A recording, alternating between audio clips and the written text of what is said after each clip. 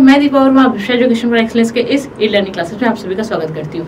जैसे कि बच्चों, आपने two marks three marks four marks और सिक्स मार्क्स के पूरे क्वेश्चन देख लिया और ये समझ लिया कि किस तरह से क्वेश्चन आ सकते हैं और उसके आंसर किस तरीके से लिखे जा सकते हैं। शुरू से मैं बोलते आ रही हूँ बच्चों कि आपको अपना आंसर दूसरों से अलग बनाना है। मतलब आप जो बुक में पढ़ रहे हैं, जो कुछ गाइड्स के द्वारा पढ़ रहे हो, लेकिन हर अगर बच्चा आंसर वही लिखे तो फिर मेरिट में कैसे आओगे? फिर अच्छे मार्क्स कैसे लाओगे उसके लिए क्या है? आपको अपने आंसर दूसरों से अच्छे लिखने होंगे, है ना? और अच्छा आंसर क्या हो सकता है भाई? उसकी कोई परिभाषा नहीं है। अच्छा आंसर क्या हो सकता है? जब आपने जो चीज़ें पूछी जा रही हैं, उसको अपने शब्दों में और अच्छे से लिखो, है ना? परिभाषा है तो परिभाषा को अपने शब्दों में नहीं, परिभाषा को परिभाषा तरह लिखना है। चार कारण पूछा है तो कारणों को वैसे ही। किसी का नाम पूछा तो बताना है। लेकिन उसको कई चीज़ें, जैसे पाँच मार्क्स छह मार्क्स के क्वेश्चन को अच्छे तरीके से लिखोगे, ठीक है? प्रॉपर एनालिसिस के साथ उसके हर पहलू को बताते हुए लिखोगे, तब कहीं जाके अच्छे मार्क्स मिलेंगे, है ना? दो मार्क्स तीन मार्क्स में ज़्यादा स्कोप नहीं होता, उसमें जो चीज़ें पूछा गया आपको उतना बताना पड़ता है। चार मार्क्स छह मार्क्स और पाँच, चार, पाँच, छह ऐसे हैं जिसमें आप अपने क्रिएटिविटी दिखा सकते हो। तो इस क्वेश्चन को ऐसे डील करना है और आपको अच्छे आंसर भी जोड़ देना है ना? एकदम रट फिट के वही चार लाइनें नहीं लिखनी। अच्छे आंसर्स को देखो कि कैसे एक अच्छा आंसर तैयार किया जा सकता है। शुरू से बोलते आ रही हूँ, उस पर बहुत ध्यान दो, ठीक है? तो जितनी तैयारी की है, पूरा विश्वास रखो। ये आखिरी वीडियो इसके बाद पूरा सामाजिक ज्ञान आपका कंप्लीट हो जाएगा, ठीक है? डरने की बात नहीं कि कल एग्ज़ाम है, अभी तैयारी नहीं हुई है, आपकी तैयारी हो चुकी है। आपने जितनी तैयारी की, उस पर विश्वास करो, बहुत अच्छा मार्क्स आपके आएँगे, है ना? अब मेरे बच्चे मेरिट में आएँगे हम छत्तीसगढ़िया हैं और हम लोग करके दिखाएँगे, ठीक है? तो कोई दिक्कत नहीं है। चलो, पहले तो हम पूरे पाँच मार्क्स के क्वेश्चन को कंप्लीट कर लेते हैं कि कौन कौन से आने हैं, ठीक है? तो देखो, आपके पहले तो बता दो, पाँच मार्क्स से कितने क्वेश्चन रहेंगे भैया? पाँच मार्क्स से दो क्वेश्चन होंगे मतलब क्या है? दस मार्क्स दस क्वेश्चन दस नंबर का होगा, ठीक है? और इसमें कितने आपको सौ शब्दों में लिखना होगा। मतलब क्या है? ग्यारह से बारह लाइन, ज़्यादा से ज़्यादा। और ये ध्यान देना, अधिकतम शब्द सीमा दी गई है। मतलब अगर आपने कम में लिखा, चार करण को चार लाइन में, पाँच लाइन में खत्म कर दिया ठीक है? तो ज़रूरत नहीं है कि आपको पूरा दस दस ग्यारह लाइन भरनी है ठीक है? कोई बात नहीं भाई जितना सात आठ लाइन में चार मार्क्स का पाँच मार्क्स का सौ मतलब दस ग्यारह लाइन में। तो अगर आपका आठ नौ लाइन में ही पूरे सभी आंसर खत्म हो जाते हैं तो ज़रूरत नहीं कि ज़बरदस्ती और चीज़ें लिखनी है। जितना पूछा गया उतना लिखो। आ, सामने वाले को अच्छी कॉपी चाहिए भरी हुई कॉपी चाहिए नहीं सही आंसर चाहिए। उसको सही आंसर दोगे तो क्यों नहीं नंबर मिलेगा? तो वैसे आपको काम करना है, ठीक है? चलो, पहले हम क्वेश्चन देख लेते हैं, दो क्वेश्चन आएँगे और एक अच्छी बात है, अथवा वाले। मतलब आपको चॉइस बेस्ड क्वेश्चन रहेंगे। मतलब पाँच मार्क्स के चार क्वेश्चन में से सिर्फ़ दो क्वेश्चन का आपको उत्तर देना है, ठीक? चलो, पहले प्रश्न देखते हैं। खरीफ, रबी, जायद फ़सलों का विवरण उदाहरण सही दीजिए, ठीक है? मतलब आपको क्या है, प्रत्येक फ़सलों के बारे में बताना होगा। सौर है मतलब क्या है? हर सब के बारे में चार चार लाइन में लिख दो। बस हो गया। खरीफ फ़सलों का आप कब उगाते हो, कब काटते हो, उसे प्रमुख फ़सलें कौन है, उसके लिए क्या क्या विशेषता है प्रत्येक का ये करो, हो गया। और एक ठो टेबल बना दो, ठीक है? जैसे क्या है, वर्षा ऋतु में क्या है? खरीफ फ़सलें, शीत ऋतु में रबी फ़सलें और ग्रीष्म ऋतु में जायद फ़सलें। इसको यहाँ पे बता दो भाई, ऐसे करके, या ऐसे टेबल बना के। अच्छा मार्क्स मिल जाएगा कि आपने पूरी चीज़ें लिखी और भाई, बच्चे ने ये भी बता दिया, ठीक है? उसके बाद या तो इस तरीके से एक पूरा आंसर लिखो, उसके बाद टेबल बना दो। फिर खरीफ फ़सल, बुआई का समय, मानसून के आगमन के साथ कटाई, सितंबर, अक्टूबर में मुख्य फ़सल धान, बाजरा, मक्का, ज्वार, रबी फ़सल, शीत ऋतु में और उसकी कटाई कब करते हैं भाई? अप्रैल, मई के आसपास। ठीक है, मुख्य फ़सल गेहूँ, जौ, चना, मटर। ठीक है, जायद फ़सलें, मार्च, अप्रैल में कटाई कब होती है, मई, जून में? इसमें तरबूज ककड़ी, खीरा, मूंग। इतना लिख दो ना, और क्या चाहिए? इतना ही टेबल बना दो। या तो फिर ऐसा गोला बना दो भाई। खरीफ के लिए मई इस तरीके से, जैसे मैंने पिछले बताया, ऐसा कुछ बनाओ।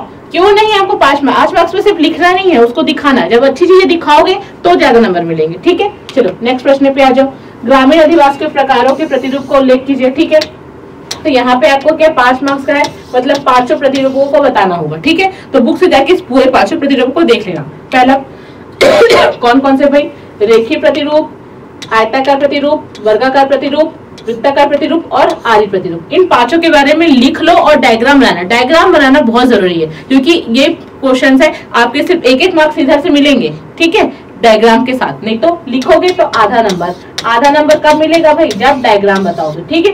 प्रॉपर सिक्वेंस वाइज लिखो और प्रॉपर उसके बाजू में डायग्राम बनाते चलो, ठीक है? जो, थोड़ा बहुत ज़्यादा बन रहा है, कोई बात नहीं।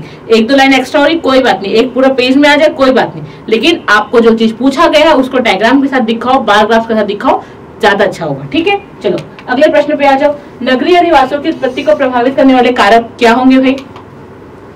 जलवायु, धरातली स्वरूप, खनिज एवं शक्ति, जल पूर्ति के साथ परिवहन एवं यातायात, ठीक है? जलवायु, की जलवायु वहाँ की अच्छी होगी तो लोग वहाँ ज़्यादा बसेंगे धरातली स्वरूप, मैदानी भागों में ज़्यादा लोग रहते हैं, पहाड़ी भागों में कम रहते हैं, ठीक है? खनिज शक्ति का संसाधन, जहाँ खनिज उपलब्ध है ठीक है, जहाँ संसाधन अधिक उपलब्ध है, वहाँ लोग ज़्यादा बसेंगे जल आपूर्ति की। अगर जहाँ पानी ही नहीं है तो वहाँ लोग जाके कैसे बचेंगे भाई? या जहाँ पानी की कमी होती तो लोग क्या करते हैं उस जगह को छोड़ के जाना, दूसरी जगह जाना शुरू कर देते हैं, ठीक है? परिवहन में यातायात, अगर रायपुर में अच्छे रोड नहीं होंगे तो लोग क्या यहाँ के बसना शुरू करेंगे? नहीं फिर वापस गाँव चले जाएँगे। तो जहाँ रोड अच्छे होते हैं, यातायात की सुविधाएँ अच्छी होती है, वहाँ क्या है, शहर अपने आप बसते शुरू हो जाता है, ठीक है? तो ये सब कारण क्या है नगरीय अधिवासियों की उत्पत्ति के कारक होंगे, ठीक है? तो इन पाँच पॉइंट्स को क्या है, आपको लिखना होगा। दो दो तीन तीन लाइन में लिखोगे, आपके क्या है, ग्यारह से बारह लाइन हो जाएँगे, ठीक? चलो, आगे अगले देखते हैं। आगे और कुछ क्या पॉइंट है? औद्योगिकरण पूंजी एवं प्रौद्योगिकी, जो उद्योग प्रधान हो जाता है, वह नगर क्रमशः महानगर में बदल जाता है। इमारतों, सड़कों, जलापूर्ति, प्रकाश आदि की व्यवस्था में पूंजी आवश्यकता होती है। तो जहाँ जैसे बेंगलोर बम्बई सिटी है, वहाँ बहुत पैसा है। तो वहाँ अच्छी चीज़ें का विकास होता है। विकास होता है तो लोग क्या है, वहाँ काम करने के नाम से जाते हैं, ठीक? व्यापार वाणिज्य, वही है, काम करने के लिए मिलेगा, पैसे मिलेंगे तो लोग क्या अपने जगह को छोड़कर दूसरी जगह जाते हैं? तो वहाँ जाएँगे, अच्छे घर बनाएँगे, रहना खाना शुरू करेंगे तो क्या फिर वो शहर बस जाता है, ठीक है? ग्रामीण क्षेत्रों में सड़क और रेल मार्ग के निकट मैदान, पर्वत, वनों और मार्गों के मिलन बिंदुओं पर। ठीक है? तो ये सब क्या है? विभिन्न तरीके से क्या है? व्यापार वाणिज्य की उत्पत्ति होती है। तो आपको अगर आता है नगरीय अधिवासियों की उत्पत्ति के कारण तो आपको इतने कारण में से क्या है? पाँच से छह कारणों को लिखना होगा और उसको अच्छे से समझाना होगा। ठीक? चलो, आगे बढ़ते हैं। रूस के अठारह सौ इकसठ उन्नीस के बीच किसानों के स्थिति में क्या क्या परिवर्तन है? तो आपको यहाँ पे क्या बताना है अठारह सौ इकसठ के पहले क्या अर्धराष्ट्र के रूप में होते थे? फिर जार आया जार ने क्या वहाँ का अर्धराष्ट्र को खत्म किया? लेकिन फिर क्या हुआ? अर्धराष्ट्र को खत्म तो किया। लेकिन क्या किसानों, अभी भी क्या ज़मीन भूस्वामियों के हाथ में थी? जिससे क्या किसान पूरा मालिक हक नहीं बन पाए? इससे क्या, इसके बाद क्या हुआ? जो किसान थे उनको का, पूरे काम नहीं मिल पाते थे। अभी भी वो जा, जाल में फंसे हुए थे कर्ज के जाल में। तो वो क्या हुआ? फिर शहर आने लगे। शहर आके फैक्ट्रियों में काम करने लगे। फैक्ट्रियों में काम करने लगे तो फिर किसानों से क्या हुआ? मजदूर बने। फिर वही क्या है? संगठन में लगे जिससे क्या फिर जगह जगह पंचायतों का निर्माण हुआ। तो इस तरीके से क्या है? इस आंसर को आपको पूरा लिखना होगा ठीक है? तो इसमें क्या जहाँ जहाँ पे अपने किसानों को समझा होगा देखा होगा इस चैप्टर में आपको क्रूज के संबंध में उस आंसर को लिखना होगा ठीक? चलो नेक्स्ट प्रश्न में आ जाओ। रूस में औद्योगिकरण पर एक संक्षिप्त टिप्पणी लिखिए। औद्योगिकरण क्या है? रूस में शुरू से चला जैसे ही ब्रिटेन में औद्योगिकरण की शुरुआत हुई, उसके साथ रूस में भी शुरू होने लगी, ठीक है? उसके बाद क्या था? रूस की क्रांति के पूर्व भी चल रहा था, रूस क्रांति हमने उन्नीस में पढ़ा। तो उसके पहले क्या चल रहा था औद्योगिकरण? और 1917 के रूस की क्रांति के बाद क्या हुआ? तो इसको आपको क्या आंसर को दो फ़ेज़ में लिखना है, ठीक है? पहला क्या लिखोगे? रूस में, रूस की क्रांति के पूर्व। तो क्या हुआ औद्योगिकरण भाई? अठारह सौ अस्सी के बाद औद्योगिकरण की प्रक्रिया रूस में शुरू हुई। ब्रिटेन या फ्रांस में जहाँ मध्यम वर्ग धनी व्यापारी आदि छोटे उद्योग लगाते थे, रूस में राज्य विदेशी निवेशकों को बड़े कारखाने लगाने के लिए आमंत्रित किया और उन्हें कई रियायतें दी। मतलब ब्रिटेन वगैरह में क्या होता था कि उद्योगपति चाहे तो वो उद्योग लगा सकता था, लेकिन रूस में क्या है, सरकार ही लगाती थी और वो क्या थी विदेशों से लोगों को बुलाती थी, ठीक? उद्योगों का नियंत्रण राज्य के हाथों में ही रहा, जिससे शक्तिशाली पूंजीपति वर्ग का विकास नहीं हुआ। बढ़ते औद्योगिकरण के साथ साथ शहरीकरण हुआ, ठीक है? मतलब सरकार ही क्या बड़े बड़े फैक्ट्रियाँ लगा रही है। तो कोई एक आदमी अमीर नहीं बन रहा है तो उससे क्या अमीर व्यक्ति मतलब पूंजीपति? तो वहाँ क्या पूंजीपतियों का विकास नहीं हुआ? ये बात थी क्या भाई? रूस में, रूस की क्रांति के पहले। अब रूस की क्रांति के बाद देखो, सारे बैंकों, कारखानों, खदानों को शासकीय संपत्ति घोषित कर दिया गया और निजी संपत्ति खत्म कर दी गई। 1928 से सोवियत रूस में नियोजित विकास की शुरुआत की गई, जिसमें औद्योगिकरण पर विशेष बल दिया गया। इसके धनी, धन और तकनीकी विशेषज्ञों का अभाव था। विदेशों से मदद के लिए साथ ही देश में संसाधन उद्योग में लगाए जाने लगे। मजदूरों का वेतन कम किया गया, किसानों पर अतिरिक्त कर लगाए गए। 1940 तक सोवियत संघ एक ताकतवर औद्योगिक देश बन गया। ठीक है? तो आपको इस तरीके से आंसर लिखना है। एक युद्ध के पूर्व सॉरी क्रांति के पूर्व लिखोगे? क्या लिखोगे? कि औद्योगिकरण की शुरुआत हुई। यहाँ पूरा औद्योगिकरण राज्य के नियंत्रण था। पूंजीपति का विकास नहीं हुआ। ठीक है? पूरा उद्योग राज्यों के हाथ में था। उसके बाद क्रांति के बाद क्या हुआ? कारखानों और खदानों में काम करने का संसाधन की आवश्यकता थी तो संसाधन सरकार ने जुटाए, ठीक है? मजदूरों को वेतन कम दिया, किसानों पर अतिरिक्त कर लगाए तो और उन्नीस चालीस तक आने तक क्या था, रूस सशक्त औद्योगिक देश बन गया, ठीक है? तो इतनी चीज़ें पूरी आपको पाँच मार्क्स के क्वेश्चन में लिखनी होगी, ठीक है? चलो नेक्स्ट प्रश्न में आ जाओ। नियमगिरी सत्याग्रह की जीत किनके निर्णय से हुई थी और कैसे? फिर वही सुप्रीम कोर्ट वाला आपको बताना है कि सुप्रीम कोर्ट ने क्या किया था? वहाँ जन्म संग्रह कराया था। कौन से एक्ट का था पीसा एक्ट का। जन्म संग्रह में क्या हुआ? लोगों ने वहाँ वेदांता ग्रुप के खिलाफ वोट दिया। जैसे क्या वहाँ क्या है? पूरे जो जन्म संग्रह के द्वारा वहाँ वेदांता ग्रुप को वापस हटाया गया। ठीक है? तो यही आंसर क्या है आपको वहाँ पे लिखना होगा। ठीक? चलो नेक्स्ट क्वेश्चन पे आ जाओ। शांति आंदोलन में शामिल लोग अशांति को रोकने के लिए कैसे कदम उठा सकते हैं? ठीक है? तो क्या कर सकते हैं भाई? संगठन परिषदों का निर्माण करके हस्ताक्षर अभियान, धरना प्रदर्शन, मानव श्रृंखला बनाकर सामाजिक मीडिया संचार माध्यमों के द्वारा। इन सबसे क्या है, वो क्या कर सकते हैं? अशांति जो हो रही है, उसको दूर कर सकते हैं, ठीक? अगले प्रश्न पे आ जाओ। ऋण किसे कहते हैं? ऋण के लिए शर्तें, जैसे ब्याज दर, समय, जमानत, गिरवी आदि की आवश्यकता क्यों होती है? तो ऋण क्या है भाई? उधार, ठीक है? ऋण क्या हुआ भाई? उधार। मतलब अपनी आवश्यकताओं की पूर्ति के लिए जब कोई व्यक्ति किसी अन्य व्यक्ति से या किसी संस्था से कुछ समय के लिए कुछ धनराशि उधार लेता है, उसी ही क्या कहते हैं? हम ऋण। अब ऋण की शर्तें क्या है भाई? कि हम उसको कितने सालों बाद, कितने महीने, कितने साल में वापस करेंगे? उसने अगर मुझे एक हज़ार दिया है तो उसके प्रति मैं उसके कितना ब्याज दूँगी? और मैं एक हज़ार ली हूँ तो भाई उसको कुछ गिरवी रखूँगी? तो यही सब क्या है? ऋण की शर्तें होती है, ठीक है? तो देखो, ऋण क्या है भाई? ऋण पहले आपको बताना है, फिर ऋण की शर्तें क्या है? ब्याज दर। समर्थक ऋण धारक आवश्यक कागजात और भुगतान के तरीकों सम्मिलित रूप से ऋण की शर्तें कहा जाती है। ठीक है? कि उसमें क्या, कितने समय के लिए लेगा, कितना ब्याज दर देगा, वो क्या गिरवी रखेगा, यही सब क्या कहलाती है, ऋण की शर्तें कहलाती है। ठीक? हर ऋण में ब्याज दर निश्चित कर दी जाती है, जिसे कर्जदार मूल रकम के साथ अदा करता है। इसके अलावा उधारदाता कोई भी चीज़ गिरवी रखने की मांग कर सकता है। ठीक है? अगर कोई एक व्यक्ति हज़ार रुपए आपको, क्या आपके दोस्त ने आपको उधार दिया तो वो क्या है मैं दस प्रतिशत आपसे ब्याज भी लूँगा। मतलब एक महीने में आप क्या दस प्रतिशत मतलब सौ रुपए उसको एक्स्ट्रा दोगे? ये मूलधन हो गया तो ये क्या होगा? ब्याज होगा, ठीक?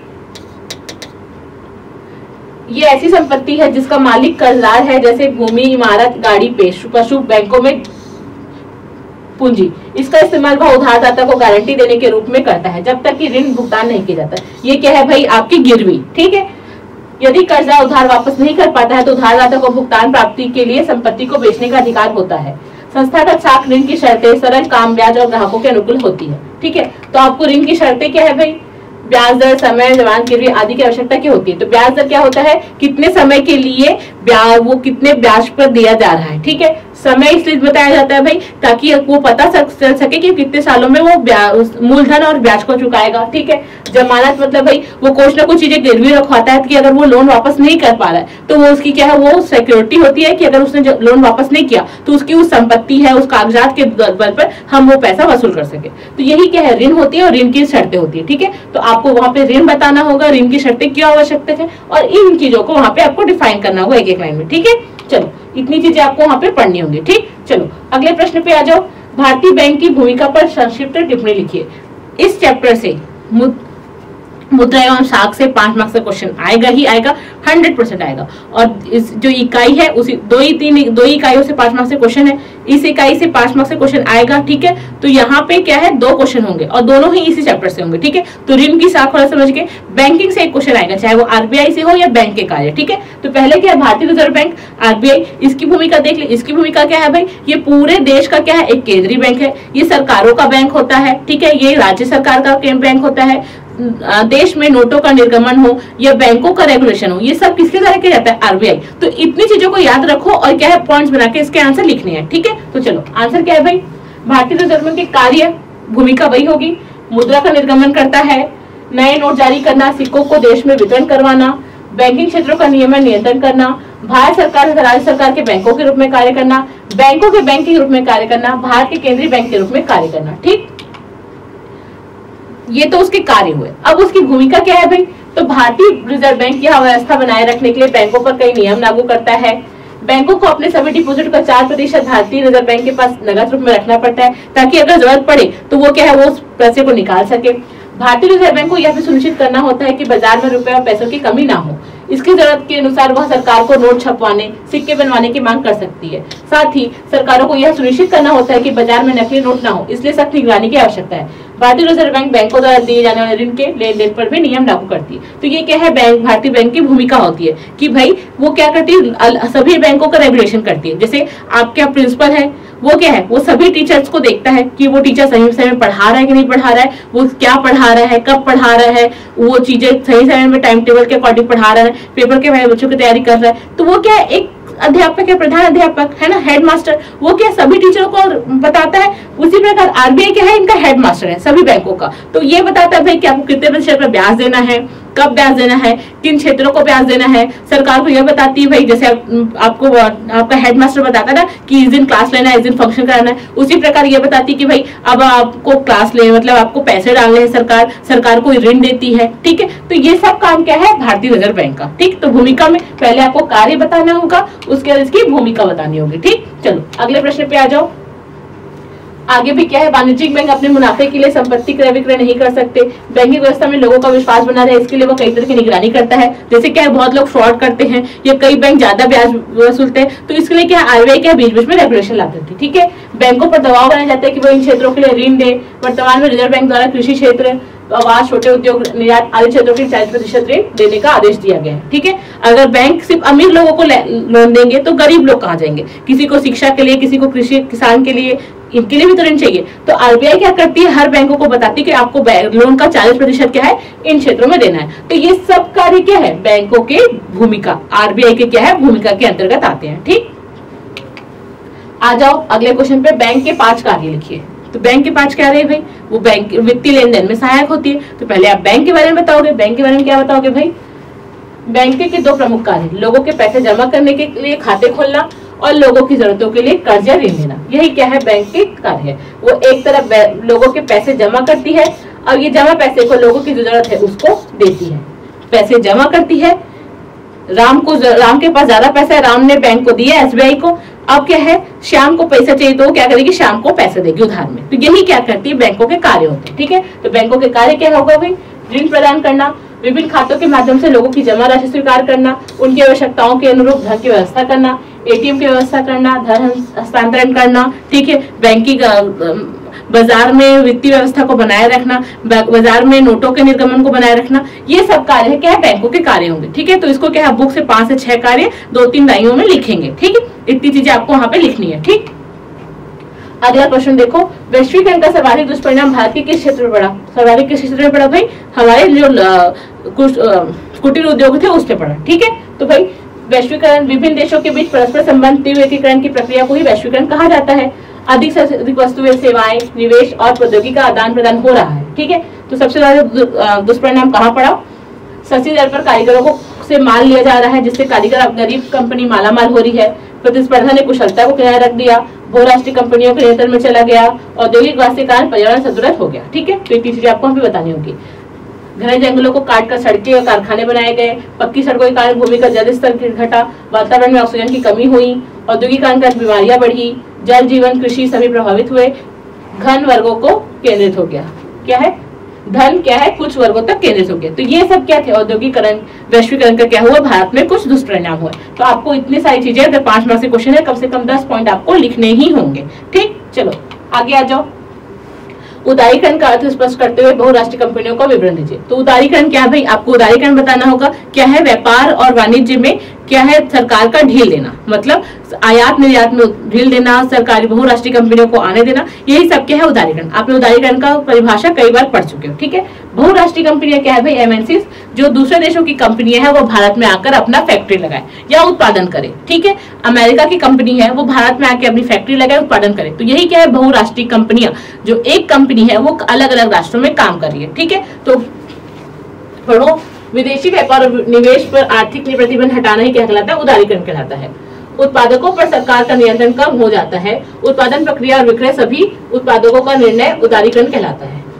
बहुराष्ट्रीय कंपनियाँ ऐसी कंपनियाँ हैं जो एक से अधिक देशों में वस्तुओं के उत्पादन पर नियंत्रण रखती है, स्वामित्व रखती है। इसके द्वारा उत्पादन के लिए कच्चे माल की तलाश पूरे विश्व में की जाती है तथा प्राप्त उत्पाद की विश्व स्तर पर बिक्री की जाती है। मतलब अगर अमेरिका में कोई चीज़ें बन रही है तो क्या रहा है, भारत में भी बिकेगी, इंडिया में, चाइना में, अफ्रीका में, सब जगह क्या है, बिकेगी। तो वही है, एक जगह की कंपनी है जो अलग अलग जगहों पे जाके क्या करिए काम कर रही है, ठीक? तो इसी को हम क्या कहते हैं, वैश्वीकरण और उदारीकरण, ठीक?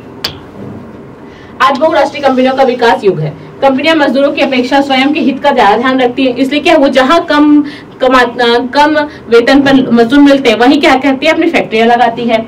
बहुराष्ट्रीय कंपनियाँ अपने लाभ के लिए कम दर की वस्तुएँ खरीद कर पूरा निर्यात करती है। मतलब क्या करेगी? अब वो एक साथ पूरा नहीं बनाएगी। जैसे मोबाइल बनाना है। ठीक है? तो इसका चिप एक देश से लाएगी, उसके पार्ट्स अलग देश से लाएगी, उसके लिए सिम कार्ड अलग से। तो फिर उसके क्या करेगी? एक मोबाइल बनाएगी। ठीक है? तो यही क्या करती कम कम में ली। असेंबल की और फिर उसको बेचेगी। इससे क्या उनको ज़्यादा लाभ होता है, ठीक है? अगर वो खुद ही सब चीज़ को बनाएगी तो उसको चार फैक्ट्रियाँ लगानी पड़ेगी, फिर उसको असेंबल करना पड़ेगा। उससे अच्छे क्या करती है? अलग अलग देशों से छोटी छोटी चीज़ें खरीदती है, उसको बनाती है, फिर क्या करती है? वो बेचती है। तो यही कहा है बहुराष्ट्रीय कंपनियों का काम होता है, ठीक है? तो आपको ये क्वेश्चन आएगा तो आपको एमएनसी के बारे में सब चीज़ें बतानी होगी, ठीक? देखो बच्चों, पाँच मार्क्स के क्वेश्चन इतने ही थे जो संभावित है, लगते हैं कि आ सकते हैं, ठीक है? तो आपको पिछले वर्षों के पेपर को एक बार एनालिसिस देखना है और आप इतने से देखते आ रहे हो। मैंने आज क्विक रिविजन में पाँच मार्क्स के क्वेश्चन बताए क्योंकि इससे सिर्फ़ दो मार्क्स दो क्वेश्चन आएँगे और आपके क्या है, वो अथवा वाले में भी रहेंगे, ठीक है? तो आपको इससे क्या राजा अध्याय है, पाँच मार्क्स ठीक है? तो आपको पूरी तैयारी उसका आंसर करनी है, ठीक है? तो बच्चों, अभी अभी तक पूरा हमने क्या किया है? दो मार्क्स तीन मार्क्स चार मार्क्स पाँच मार्क्स छह मार्क्स सभी कर लिए, ठीक है? इससे पाँच क्वेश्चन इससे चार क्वेश्चन इससे चार क्वेश्चन इससे दो इससे दो, ठीक है? तो ये आपके पूरे क्या है? दस मार्क्स बारह, सोलह, दस, बारह। ये पूरे चैप्टर आपके यहाँ पे तैयार होंगे, ठीक? तो बच्चों, इस तरीके से आपको क्या है? ये साठ नंबर दे रहे हैं। और क्या है? वन मार्क्स का पंद्रह क्वेश्चन पचहत्तर।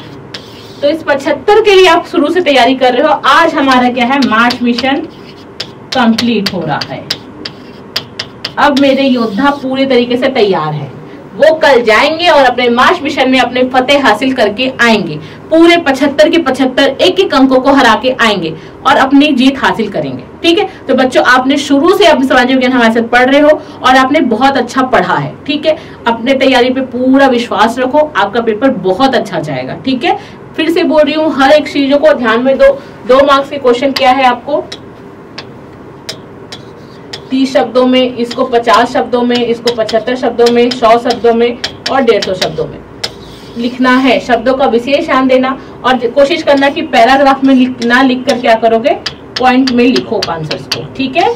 और जैसे पाँच मार्क्स के क्वेश्चन है छह मार्क्स के क्वेश्चन में उसमें कुछ भी बायोग्राफ देने की या टेबल फॉर्म में बनाने की कोशिश करना ठीक? दूसरी बात तीन घंटे को अच्छे से मैनेज करना ठीक? एक मार्क्स का क्वेश्चन दो मार्क्स का क्वेश्चन तीन चार पाँच छह मार्क्स का क्वेश्चन और लास्ट के आधे घंटे, बचे हुए क्वेश्चन के लिए बचा के रखना, ठीक? मतलब आपका पेपर ढाई घंटे में जो भी आता है, पूरा कंप्लीट हो जाता है। क्योंकि हमारे पास तीन से चार प्रश्न होते हैं जो क्या है लास्ट के लिए बच जाते हैं। तो ये आधे घंटे में इन क्वेश्चन को सॉल्व करना। छह मार्क्स से क्वेश्चन के पॉइंट्स जैसे पेपर देखो, पीछे ज़्यादा हो तो क्या करोगे? पीछे एक पेपर में छह मार्क्स के जो भी क्वेश्चन आपको ध्यान आ रहे हैं पॉइंट्स है, उसको लिख लो, पाँच और छह के, ताकि क्या है, जब आंसर लिखो तो पॉइंट्स को भूलो ना। अक्सर क्या होता है, हम जब, और पहली बात, पंद्रह मिनट में क्या करोगे, पहले पूरे पेपर को पढ़ लो। दो बार पेपर को पढ़ना, उसके बाद ही शुरू करना। नहीं कि पेपर तुरंत बनाने तैयारी नहीं करना कई क्या हो गया एमसीक्यूज के क्वेश्चन आपके आगे के पेपर क्वेश्चन में मिल जाएँगे, ठीक है? जायद फ़सल कुछ भी। पंद्रह क्वेश्चन के एक दो क्वेश्चन तो आपके पूरे प्रश्नों में ही रहेंगे, ठीक है? तो आपको क्या करना है, एक बार पूरा शुरू से लेकर पूरे अट्ठारह क्वेश्चन को पढ़ोगे, फिर दोबारा पढ़ने चालू करोगे, फिर कौन कौन सा आ रहा है उसको टिक करते चलोगे, ठीक? उसके बाद क्या करोगे भाई? आंसर लिखना शुरू करोगे। और कोशिश करना कि जितने क्वेश्चन आ रहे हैं आंसर्स पूरे लाइन से लिखो। एक से अठारह तक, एक सीक्वेंस से पूरा जाना, उसके बाद जो छूटे हुए क्वेश्चन है, उसको फिर से लाइन से लिखने की कोशिश करना। इससे क्या है, समाज जो चेक करने वाला है, उसका मनस्थिति बहुत अच्छी होगी। और दो नंबर के प्रश्नों को कुछ भी गड़बड़ी नहीं करना है। ये वाला आपका क्या है डोर ओपन है, ठीक? एक मार्क्स का क्वेश्चन तो सभी वही लिखेंगे। उसमें तो कुछ दो मार्क्स का क्वेश्चन क्या है? आपके इन सभी को, ठीक? ये पूरा डिसाइड करेगा ये, ठीक? इसमें गड़बड़ी की खिचर बिचर किया तो आगे पूरा गड़बड़। उसके दिमाग को शांत रखना है कि वो आपको ज़्यादा मार्क्स दे। तो क्या है? दो मार्क्स के क्वेश्चन को बहुत अच्छे से लिखो। फिर तीन, फिर चार, फिर पाँच और छह। पूरा सीक्वेंस में चलो पेपर बहुत अच्छा जाएगा। इतनी तैयारी की है तो खुद पे विश्वास करो ना। क्यों डर रहे हो? क्यों डर लगता है कि भाई लिखने की तैयारी नहीं, ये नहीं है? बहुत पढ़ा है, साल भर पढ़ा है। और सामाजिक विज्ञान ऐसा विषय है जो आपकी सोच से निकलता है है ना? रट के नहीं निकलता है। इसमें कोई एक्सपेरिमेंट नहीं करनी है। आपने जो चीज़ें पढ़ी है, आपकी जो सोच है, समझ है, उसी को क्या है? पेपर में लिखना है। तो ये आपका पेपर है, इसमें बिल्कुल नहीं डरना। मार्च मिशन में मेरे जो जितने सिपाही हैं वो तैयार है। अब एक एक कौन सिपाही कितना नंबर लाता है, ये तो हम रिज़ल्ट के दिन देखेंगे, ठीक है? तो अभिप्सा आपके साथ हमेशा है, हमेशा रहेगी। ये नहीं कि दसवीं के एग्ज़ाम के बाद अभिप्सा आपको नहीं छोड़ेगी। अभिप्सा आपके ग्यारहवीं, बारहवीं या किसी भी स्टेज में हमेशा साथ रहेगी। इवन मैं, दीपा वर्मा करियर काउंसलर आपको आगे की जितनी भी चीज़ें होंगी, आपको कौन से टेंथ के बाद कौन से सब्जेक्ट्स लेने हैं, उसमें भी मदद करूँगी। और ग्यारहवीं, बारहवीं के बाद कौन से कोर्सेज में भी जाना है, मैं उसमें सब में मदद करूँगी, ठीक है? तो अभिप्सा ऐप डाउनलोड करके क्या है, आप हमसे आगे जुड़ सकते हो। हमारे यूट्यूब माध्यमों से, हमारे फेसबुक इंस्टाग्राम किसी भी चैनल के द्वारा आप हमसे हमेशा जुड़े रह सकते हो। दिए हुए नंबर पे कॉल करके क्या है? आपको कोई भी हमको, आपको कोई परेशानी होती है तो आप इस नंबर पे कॉल करके क्या है? हमसे बात कर सकते हो, ठीक? बिल्कुल नहीं डरना है बच्चे, जितना तैयारी की बहुत अच्छे की टेंथ बस, अब दो ही पेपर दो, तीन है, उसके बाद क्या है, आप फ्री मतलब आपने एक लाइफ का एक स्टेज टेंथ पार कर लिया। अब क्या है, आप हाई स्कूल में जाने वाले हो, ठीक है? तो एक्साइटमेंट भी है, बहुत सारी चीज़ें हैं, है ना? आप बस अभी पेपर देख के आओ, फिर मार्च से जब भी आपकी नेक्स्ट सेशन शुरू होगी, हम फिर से मिलेंगे, ठीक है? तो अगर आप हमसे जुड़ना चाहते हैं तो ऐप डाउनलोड करके रखो। इलेवेंथ के लिए अगर आपको इंट्रोल करना है, कौन से सब्जेक्ट लेने हैं, किस तरीके से पढ़ाई करनी है, कुछ भी जानकारी चाहिए तो आपके एग्ज़ाम खत्म होने के बाद हम मिलेंगे। और अगर हो तो आप हमसे कॉल करके हमारे क्लासेस के बारे में पता कर सकते हो, पहले से इंट्रोल कर सकते हो, ताकि आपकी तैयारी है वो बहुत अच्छी जाए। और इलेवेंथ ट्वेल्थ में बिल्कुल आपको कोई भी क्या हजर नहीं करना है, बिल्कुल गड़बड़ी नहीं करनी है। इसलिए इलेवेंथ में जो भी सब्जेक्ट लो, बहुत सोच समझ कर लेना, ठीक है? तो अभिप्सा आपके साथ हमेशा है। छत्तीसगढ़ के बच्चों को आगे लेके जाने का काम अभिप्सा हमेशा करते रहेगी। हिंदी माध्यम के बच्चे कभी पीछे नहीं रहेंगे, ये हमारा वादा है। और हिंदी माध्यम के बच्चों को आगे लेकर तक जाएँगे, यही हमारा विश्वास और हमारी प्रबल इच्छा है। अभिप्सा का मतलब ही प्रबल इच्छा। आपकी इच्छा, हमारी इच्छा, ठीक है? तो बच्चों, मिलते हैं, फिर हम आगे वीडियोस में, ठीक है? हमेशा आपके साथ कनेक्ट रहेंगे। तो मैं रिपा वर्मा, अभिप्सा की पूरी टीम की वजह की ओर से आपको बेस्ट ऑफ़ लक देती हूँ, आपकी दसवीं के एग्ज़ाम के शुभकामनाएँ देती हूँ। आपका एग्ज़ाम बहुत अच्छा जाए और उसके बाद ग्यारहवीं में आप बहुत नई एनर्जी के साथ हो और मेरे बच्चे मेरिट लिस्ट में आएँगे, ये हंड्रेड मैं मान के चलती हूँ, ठीक है? और बच्चों, आपको वीडियो अच्छा लगता है, हमारे प्रयास अच्छे लगते हैं तो प्लीज़ लाइक भी कर दिया करो। आप लोग देखते वीडियो पूरा हो, लेकिन लाइक नहीं करते हो। अगर आप लाइक करते हो तो हमें भी अच्छा लगता है कि भाई, हमारे बच्चों को हमारा प्रयास जो है बहुत अच्छा लग रहा है, ठीक है? तो बच्चों पेपर बहुत अच्छे से दो, आपका पेपर बहुत अच्छा जाएगा। जिस तरीके से भी हो अभिप्सा आपके साथ जुड़े रहेगी और आप भी अभिप्सा के साथ जुड़े रहो और मेरी पूरी शुभकामनाएँ आपके साथ है। आप मेरे टेस्ट में हंड्रेड परसेंट आओगे। ठीक है बच्चों? बेस्ट ऑफ़ लक मेरी पूरी अभिप्सा की टीम आपके उज्जवल भविष्य की कामना करती है। आप बहुत अच्छा एग्ज़ाम दो।